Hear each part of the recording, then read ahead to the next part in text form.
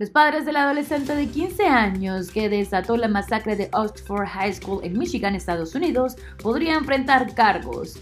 El jueves temprano, un fiscal repitió sus críticas a los padres de Ethan Crumley, diciendo que sus acciones fueron mucho más de la negligencia y que el viernes se tomará una decisión sobre su acusación.